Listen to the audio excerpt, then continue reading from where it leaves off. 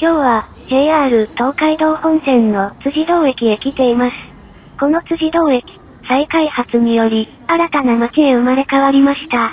その変貌ぶりを視察に来た次第です。動画の後半では、新たに誕生するランドマークの詳細に関しても触れます。この辻堂駅は、JR 東海道本線、湘南新宿ライン、上野東京ラインが停車する、抜群の駅力。横浜、大船、藤沢などの県内主要エリアをはじめ、渋谷、新宿、品川、東京などへダイレクトにつながる軽快なアクセス。改札を目の前に、駅構内はこんな感じです。まずは駅北口をご紹介します。辻堂駅から各主要ターミナルへのアクセスはこちら。熱海や箱根などの温泉地も電車アクセスで繋がっているため、少し足を伸ばすだけで、都心にはない情緒あふれる景色や、観光、散策などを楽しむことができます。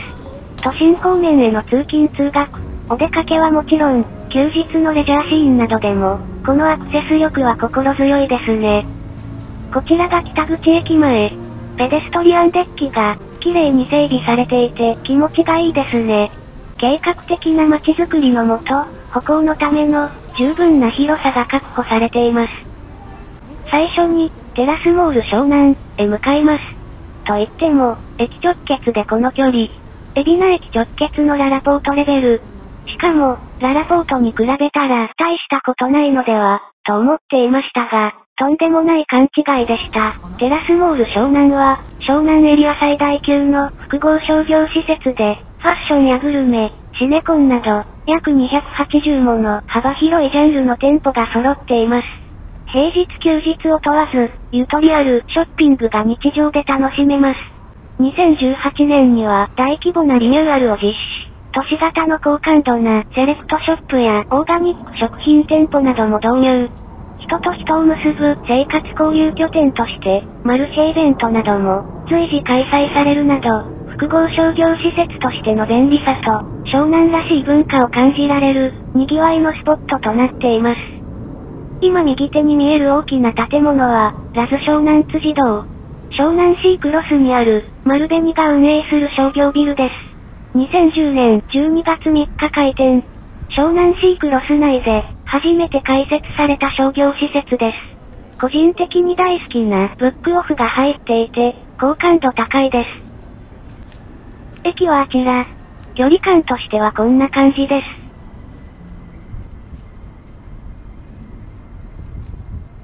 この春の心地よい日差しを浴びながら、テラス席でランチを楽しむ湘南の方々。湘南らしい豊かな自然とリラックスした空気感、そして高い利便性がバランスよく整ったこの場所で最高の休日をお過ごしです。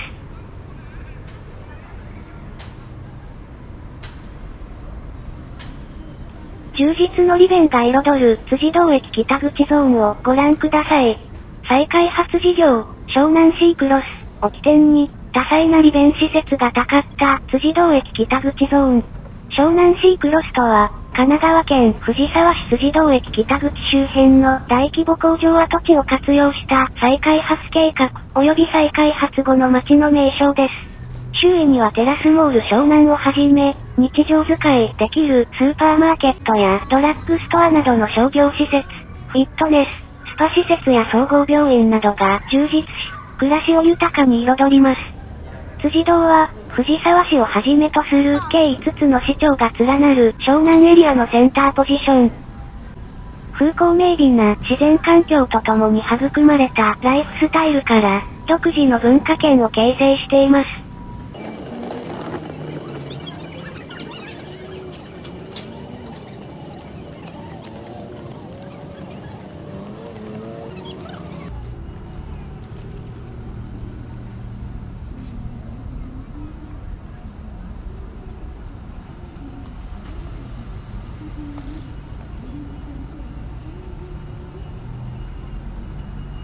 右手の大きな公園は、神台公園です。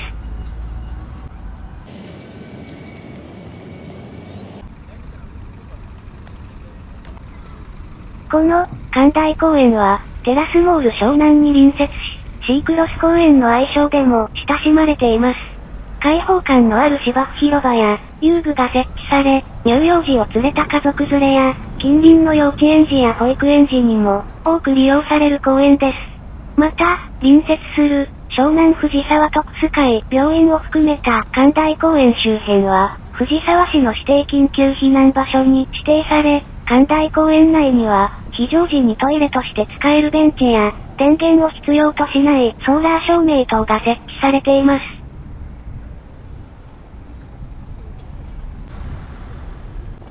この公園の景色、素敵ですね。都心を離れ、湘南の風を浴びながら、家族連れで楽しむ光景って、心が和みますね。辻堂、そして藤沢市の魅力といえば、住みやすい街、子育てに優しい街。辻堂を含めた藤沢市は、近年人口を増やし続けており、2年連続、待機児童数、ゼロを達成するなど、育児へのサポートも充実。その住みやすさから、子育て家族をはじめとした多くの人々に人気のエリアです。この人口減少時代に、多くの人々を引きつけ、人口増の藤沢市は、注目すべき市の一つです。2022年には人口増減数で全国3位、神奈川県内で1位となりました。現在、神奈川県で人口を伸ばしている市は、海老名市、大和市、藤沢市、茅ヶ崎市の4都市のみ。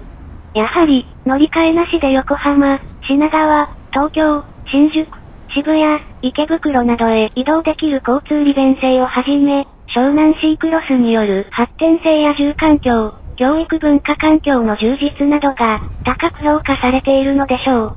こうやって街歩きをすると、なるほど、多くの人々を魅了する街であることがわかります。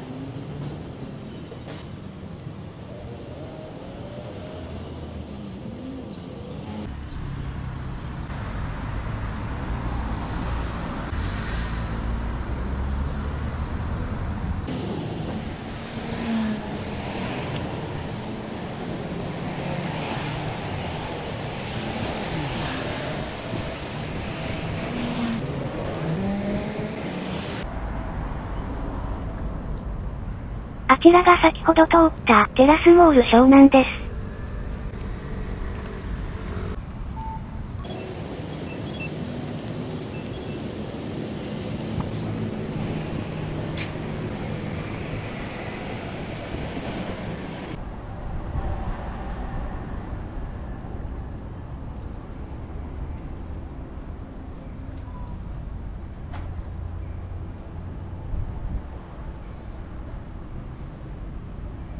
左手の大きな建物は、有効ラッキー辻堂店。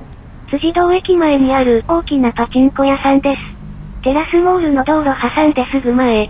ほぼ駅直結で、人も多く入っています。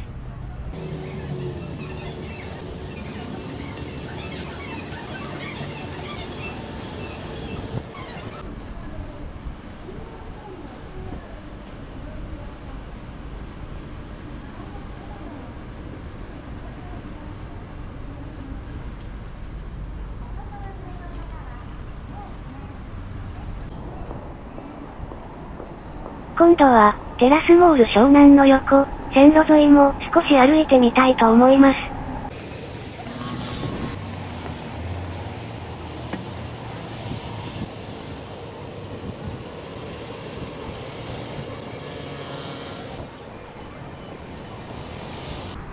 左側に駅のホームが見えます。右手はテラスモール湘南。なぜこの方向に進んだかというと、そう、向かいに見えるレジデンス。ライオンズ1条レジデンス湘南シークロス。辻堂駅徒歩1分。駅降りて、この北口で、真っ先に目についたマンションで、ついつい気になって来てみました。また、ライオンズマンション、最近はあまり目にしなくなりましたが、以前の印象と、だいぶ作りが異なります。精錬されたこのレジデンスは、80平米で賃料は25万。この広さでこのお値段なら、即入居レベルですね。一方、売買では、80平米で7000万前後。妥当ではないでしょうか。今後の市場予測としては、まだ上がってもいいような気もします。都心の不動産高騰の影響もあり、通勤に便利なこの東海道線、湘南新宿ライン、上野東京ライン沿いは、今後も人気が上昇しそうです。ここで、客観的な視点から、あえてマイナス面を上げるとするならば、始発がないことです。もし、もう少し価格を下げて、マイホームを手に入れたいと思われる場合は、思い切って、始発駅となる平塚駅を選択することです。辻堂駅や藤沢駅から乗車すると、横浜駅までは大丈夫ですが、その先から一気に混雑します。特に川崎駅から品川駅間は、激混み。覚悟が必要です。時間帯をずらし、オフピーク通勤可能な方なら、この辻堂駅はおすすめです。今度は南口をご紹介します。目の前の大規模な開発。今回ご紹介するのが、ここに誕生するザ・タワー、湘南辻堂。辻堂駅直結。新たなランドマークとして、湘南のセンターポジションを抑え、湘南エリアにおいては、最高層かつ14年ぶりとなるタワー。